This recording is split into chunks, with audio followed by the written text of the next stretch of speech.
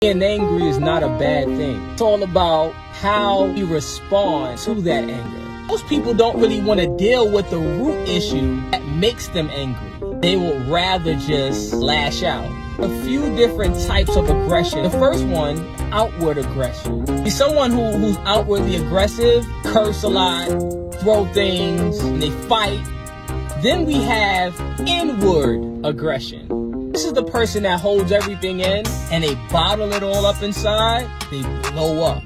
Then you have the passive aggressor. This person hide their emotions through sarcasm, joking around a lot. These type of people have so much anger inside of them, but instead of expressing themselves, they'll rather do other things to make people think that there's nothing really wrong.